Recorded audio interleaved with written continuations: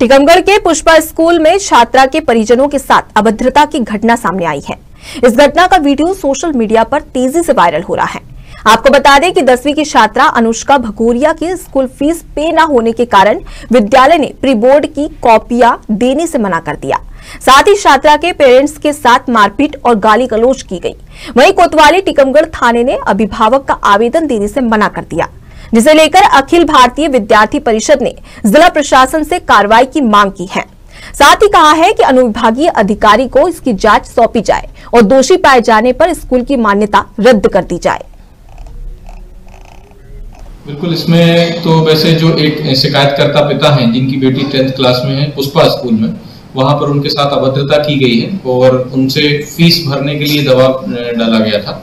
ऐसी शिकायत प्राप्त हुई है, ऐसा लिखित में मुझे प्राप्त हुआ है। और समक्ष में भी पिता ने जो है उनके, उनने मुझे बताया है। और ये बहुत बिल्कुल मैंने इसको तत्काल कलेक्टर महोदय के संज्ञान में आते ही उन्होंने मुझे बताया और आप लोगों से, के सामने मैंने उनसे बात भी की है। और उनने स्वयं ये बताया है कि मैं शिकायत दर्ज करना चाह रहा था, लेकिन फिर मुझे स्कूल प्रबंधन की तरफ़ से ऐसा दबाव हुआ कि आप शिकायत दर्ज न कराएँ। लेकिन उनको यहाँ के कुछ विद्यार्थियों की मदद मिली, उनको मनोबल मिला और उन्होंने ये आशा जताई है कि वो इसकी शिकायत सात दिन का टाइम दे दी हम तो फ़ीस आपकी दे देंगे। तो बोले हाँ ठीक है, आ जाना। तो मैं, हम दोनों बच्ची के मम्मी पापा दोनों गए प्राचार्य के पास तो प्राचार्य ने टोटली कॉपी देने से मना ही कर दिया। बोले, फ़ीस दोगे, तभी कॉपी देंगे। तो हमने कहा, मैम मुझे सात दिन का टाइम दे दीजिए, आप उसके लिए मुझसे शपथ पत्र या कुछ भी लिखना लिखवाना चाहते हैं, मैं लिखने के लिए तैयार हूँ। और अभी हम लोगों की सैलरी नहीं आई है तो फ़ीस अभी नहीं है। आप सात दिन का टाइम दीजिए लेकिन उन्होंने काफ़ी देने से मना कर दिया। बोले फादर जी से बात कर लो। तो मेरी मैसेज फादर जी से बात करने के लिए गई। तो उसी दौरान मैं भी उनके पीछे पीछे गया तो वो तमाशा लेके गिरे मेरे ऊपर। इस वक्त और भी जानकारी के लिए इस खबर पर हमारे साथ में सुधीर पटेरिया हमारे संवाददाता जुड़ गए हैं। सुधीर टीकमगढ़ के पुष्पा स्कूल में छात्रा के परिजनों के साथ में अभद्रता की घटना सामने आई है। पूरी पूरा मामला क्या है? जी मैं आपको बता दूँ कि ये टीकमगढ़ के पुष्पा स्कूल का मामला है जो यहाँ के बच्चे पढ़ाई में नंबर एक की पोजीशन पे जाते हैं जो I S I P S की रैंक भी हासिल करते हैं।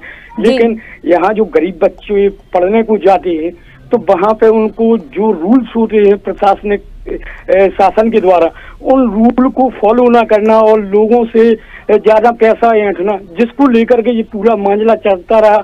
वहाँ पे आप वीडियो में भी देख सकते हैं कि किस तरीके से उसे परिजन के साथ अभद्रता पूर्वक व्यवहार किया जाता है। और जब इस संबंध में प्रशासन के पास यह बात पहुँचती है तो प्रशासन आश्वासन तो देता है पहले की भांति लेकिन कार्रवाई ना करना और ऐसे स्कूलों संचालकों के ऊपर कार्रवाई नहीं करना और प्रसाद बड़ी रकम लेकर के यहाँ पे बिक जाना एक पहले से ही ऐसा चलता आ रहा है। जी। रमा जी। जी। आ, सुधीर जी आगे पुलिस प्रशासन इस पर क्या कुछ कार्रवाई करेगी स्कूल प्रबंधन के ऊपर? जी मैं आपको बता दूँ प्रशासन का जो रवैया आश्वासन ही देते हैं केवल के कार्रवाई की जाएगी की जाएगी। लेकिन ये कागजों में ही चलता रहता है अधिकारियों के पास बड़ी रकम पहुँच जाती है तो उस जगह पे उसको दबा दिया जाता है। ऐसे पहले भी कई ऐसे मामले आते रहे हैं टीकमगढ़ के लेकिन आज तक किसी भी ऐसे मामलों पर कार्रवाई करना एक प्रशासन उचित नहीं समझता है क्योंकि प्रशासन यहाँ का कुंभकर्ण की निर्णय सूरा है। जी। जी बिल्कुल सुधीर एक बड़ा सवाल उठता है पुलिस प्रशासन के साथ स्कूल प्रबंधन पर जहाँ पर बड़ी लापरवाही सामने आ रही है। जी सुधीर जी क्या कहेंगे आप?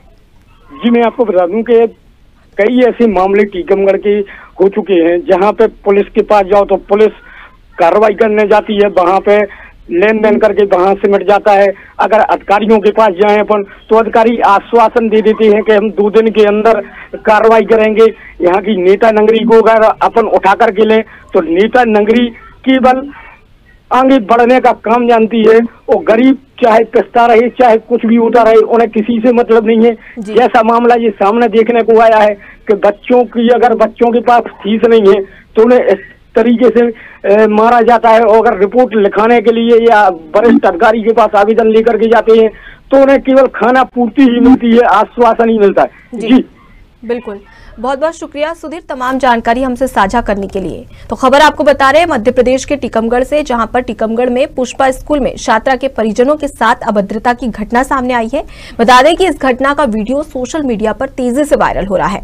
आपको बता दें कि दसवीं की छात्रा अनुष्का भगोरिया की स्कूल फ़ीस पे न होने के कारण विद्यालय ने प्री बोर्ड की कॉपियाँ देने से मना कर दिया था।